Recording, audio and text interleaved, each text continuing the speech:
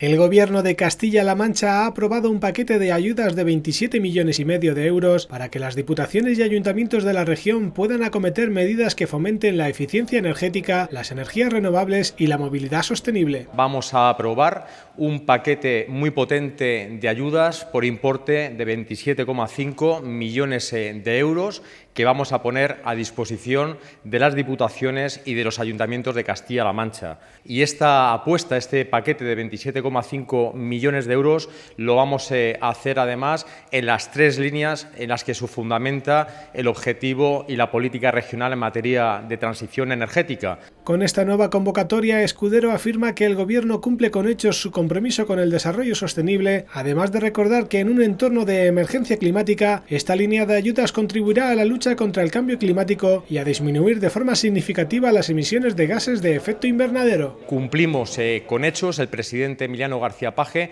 cumple con hechos su compromiso en esa apuesta por el desarrollo sostenible y como no podía ser de otra manera, coloca a Castilla-La Mancha también a la cabeza en cuanto a eh, transición energética se refiere y en el cumplimiento, en la alineación de nuestras políticas regionales con las políticas también del Gobierno central. El plazo de presentación de solicitudes será de dos meses tras su publicación en el Diario Oficial de Castilla-La Mancha y los posibles beneficiarios contarán con 12 meses para presentar sus propuestas. En total, cada provincia recibirá 5 millones y medio de euros, cuantía con la que podrán contribuir a la transformación energética de la comunidad autónoma.